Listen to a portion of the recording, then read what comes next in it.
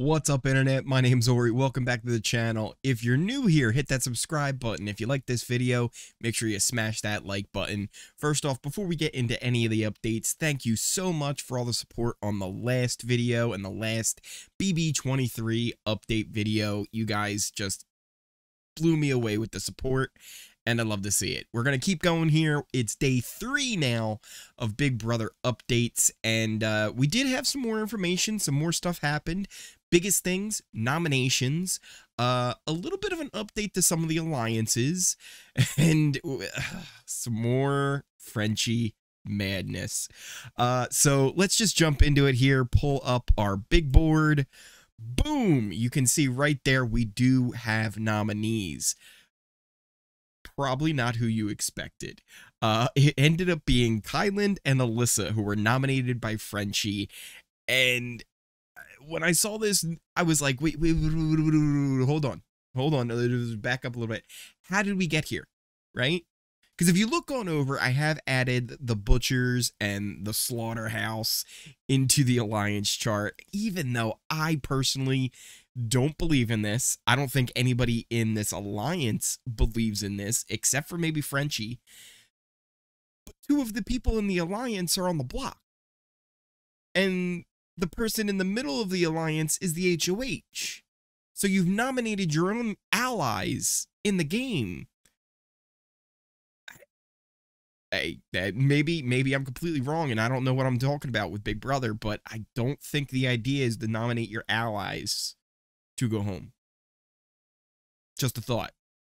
But those were who ended up on the block. And Frenchie's reasoning was he woke up and he's like, I, I had a dream. And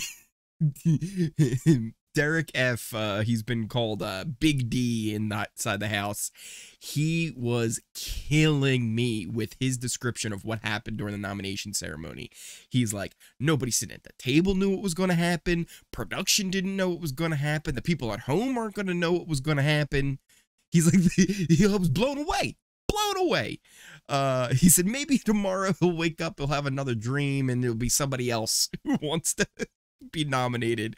I Frenchie has been all over the place uh during this HOH reign. And it's weird because I think he even knows that he's been all over the place and he knows that this is a problem that he's having. Uh late last night before he was going to bed, he was speaking to himself inside the HOH room saying, "Oh, don't get HOHitis. Don't get HOHitis." Too late, Frenchie. Too late uh again let's let's try and go over how we even got to this right? So we have the slaughterhouse we have the butchers. Brent is in the slaughterhouse and again i feel like brent only is in the slaughterhouse because he walked into the hoh room at the right moment.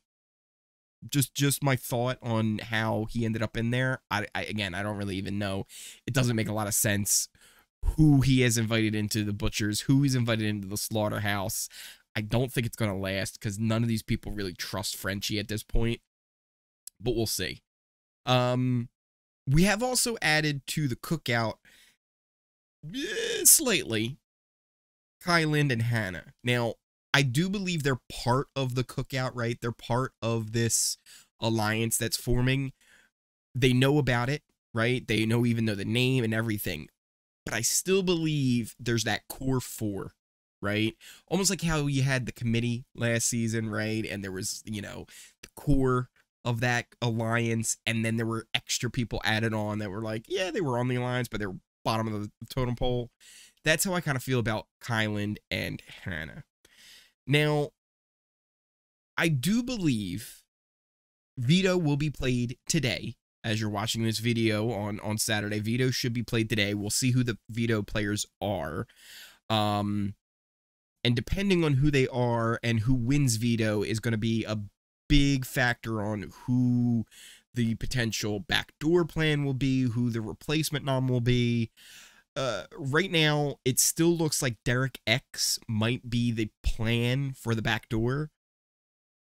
But your guess might be as good as mine. It might be as good as anybody in the house. We really don't know what's going to end up happening. Because uh, Frenchie has been flip flopping pretty much all day. Nobody really knows who's trusting who. it, it's really been Frenchie's Funhouse. It's been Frenchie's Funhouse in there. He, he's calling the, the Alliance the Slaughterhouse, but it's the Funhouse. And I'll give it this the feed's been a lot of fun to watch.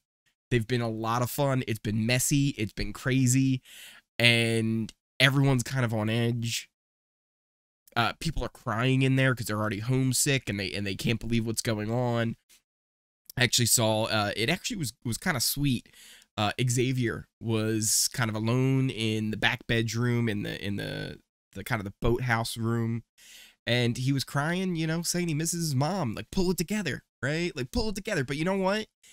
I get it, right? I totally get having those kind of emotions, especially with all this madness going on inside the house as well. Um, now if they get a houseguest choice, Ky- uh, Kyland and Alyssa have talked about who they would pick uh, to play in uh, the veto competition for them. Kyland says he would probably pick somebody like Xavier. Um, Alyssa said she might end up picking someone like Brent. Um, people who they think would use the veto, right, without kind of giving away what's going on uh, with things. Also, uh, one of the reasons that Alyssa is even nominated was Frenchie thought that she had like a showmance forming already, but there really isn't any evidence to that going on either. Again, Frenchie has really made this uh, a lot of fun to follow, but really hard to follow uh, on what's actually been going on inside the Big Brother house. Uh, Twitter's going crazy with it, uh, and it's and it's interesting because it almost seems like Frenchie was trying to play for the Twitter audience and for the people at home instead of following his heart and following his head. He he's trying to play for other people and play for for the audience and it's just it's not working out for him right because the exact opposite's probably happening that he wants the audience is turning on him being like dude what what are you doing what what are you thinking uh, I know a lot of you in the comments of the last video were like, "What? What?" right? You were just as blown away as I was. Uh, so it's going to be interesting to see. The big thing will be veto. Who wins veto? Who's going to be that replacement nominee? And we're going to have to see from there. Worst case scenario, right? Let's say uh the nominees stay the same. I believe Kyland would stay. I think he would have the votes to stay. More people would be um, in favor of him staying over Alyssa. But I honestly don't want either of these people to go. Um, I don't even necessarily know who I would want to go at this moment. Who would be a good replacement nominee uh, to go up there? There was talk of again Derek X being that that replacement, being the actual target. There was also some talk of Travis being the replacement as well. And I think if I had to choose between those two of the Derek X and Travis, I feel like Travis might be the one I'd rather see go. Um, just from a character standpoint and a gameplay standpoint.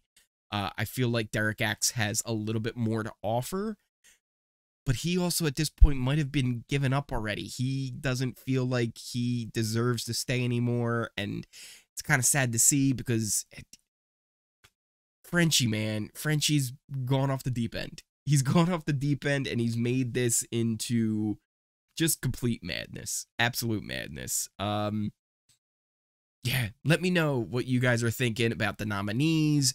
Who would you want to see win veto? Who would you want to see go up as a replacement if veto gets used? Let me know in those comments right down below. Uh, also, again, if you like this video, hit that like button. Uh, if you're new here, hit that subscribe button. You can also follow me over on Twitter at Ory Streams. You can follow me on twitch.tv slash Ory Streams. I believe I will be streaming uh, tonight, uh, this Saturday night. So for some games, we'll see uh, what we end up doing. Maybe we'll get a gang together, uh, play some uh, Goose Goose Duck, maybe Among Us, maybe even some Pummel Party, which is kind of an interesting game as well. Uh, we'll see how that all goes. Once again, thank you guys for all the support you gave me on my last video, uh, and I will see you all next time.